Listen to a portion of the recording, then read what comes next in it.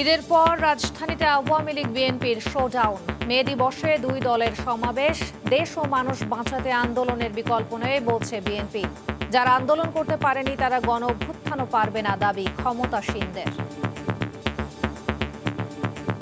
জনগণের নির্বাচিত নয় তাদেরকে পরাজিত করে আন্দোলনের মাধ্যমে আমরা নতুন করে জনগণের সরকার প্রতিষ্ঠা করতে চাই। এবারকার লড়াই আমাদের স্বাধীনতার লড়াই। এবারকার লড়াই আমাদের মুক্তির লড়াই। পদযাত্রা করতে করতে অবস্থানের নামে শুয়ে পড়েছে। এই আন্দোলনের আর কোনো ভবিষ্যৎ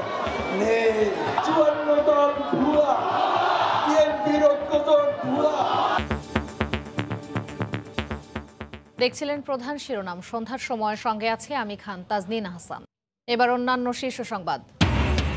বাংলাদেশ বিশ্ব ব্যাংক সম্পর্কের পঞ্চাশ বছর পূর্তি। ওয়াশিংটনে অনুষ্ঠানে যোগ দেবেন প্রধানমন্ত্রী। বিএনপি জামায়াত জোটের সৃষ্টি র্যাব, ভয়েস অফ আমেরিকার সাক্ষাৎকারে শেখ হাসিনা।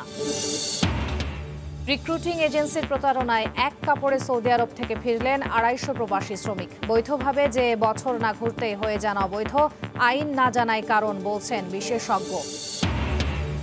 এবার রাজধানীর ধূপখোলায় গ্যাস লাইন বিস্ফোরণ। একই পরিবারের চারজন সহ দগ্ধ আট। গাজীপুরে কারখানায় বিস্ফোরণে আহত তেরো। এবং একসময়ের জলাশয় আর লবণের মাঠে লক্ষ কোটি টাকা বিনিয়োগ। এশিয়ার বিজনেস হাব হিসেবে গড়ে তোলা হচ্ছে দেশের প্রথম গভীর সমুদ্র বন্দর মাতার বাড়ি।